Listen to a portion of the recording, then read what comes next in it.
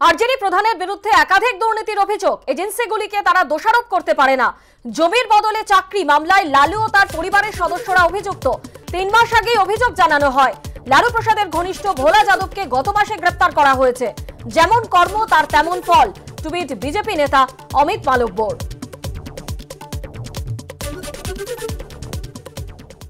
তদন্তের স্বার্থে সিবিআই তল্লাশি চালাচ্ছে। বিহারের চব্বিশ জায়গায় সিবিআই হানা প্রসঙ্গে মন্তব্য সুকান্ত মজুমদারের।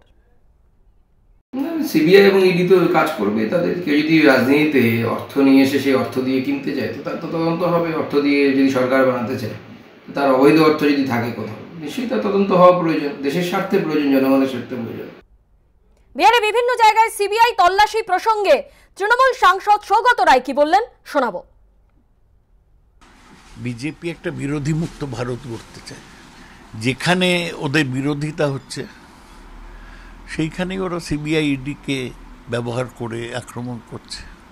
মহারাষ্ট্রে হয়েছিল, পশ্চিমবাংলায় হয়েছে, দিল্লিতে হলো, এখন বিহারে হচ্ছে।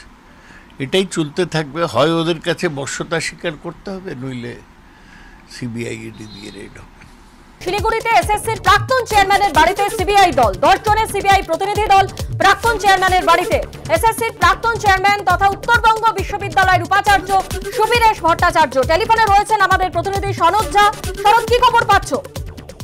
হ্যাঁ দেখো, এখনও জেরা চলছে উত্তরবঙ্গ বিশ্ববিদ্যালয়ের উপাচার্য সুবরেশ ভট্টাচার্যর যে অফিস, সেই অফিসে পাঁচজন সিবিআই অফিসার তারা কিন্তু তাদের তল্লাশি এবং জেরা চালাচ্ছেন। পাশাপাশি আরেকটা টিম পাঁচজনের তারা সুরেশ ভট্টাচার্যের যে বাংলো এই ক্যাম্পাসের মধ্যেই রয়েছে, সেই বাংলোতে তল্লাশি চলছে। তবে মেনলি দুটো বিষয় নিয়ে তল্লাশি চলছে, বা আজকে জেরা চলছে সুরেশ ভট্টাচার্যের। যেটা হচ্ছে যে এসএসসি চেয়ারম্যান থাকাকালীন যে নিয়োগগুলো হয়েছিল, সেই নিয়োগে এই যে দুর্নীতি হয়েছে, তাতে তার ভূমিকা কতটা, সেটা নিয়ে যেমন হচ্ছে, পাশাপাশি এই, এখানে দু হাজার আঠারোর পরেই তিনি উপাচার্য জয়েন করেন। এবং তারপরে এখানে তার সময়ে প্রচুর নিয়োগ হয়েছে এবং সেই নিয়োগেও কিন্তু দুর্নীতির অভিযোগ বিভিন্ন সময় উঠেছে।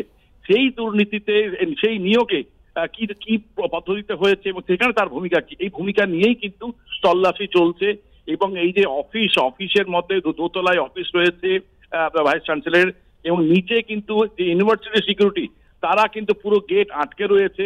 উপরে পাঁচজনের দল তল্লাশি চালাচ্ছে, যদিও এখানে সিবিআই কিন্তু আধা সামরিক বাহিনীর কোনো টিম নিয়ে আসেনি। স্বাভাবিকভাবে গোটা জায়গায় কিন্তু প্রচুর কাগজপত্র, যে সমস্ত যে অফিসের ভিজিট সেই সমস্ত কাগজপত্র তল্লাশি চলছে এবং সেই তল্লাশি সন্ধে পর্যন্ত চলবে যেটা এখন বোঝা যাচ্ছে সন্ধে পর্যন্ত কিন্তু এটা গড়াবে। স্বর্ণালী ধন্যবাদ।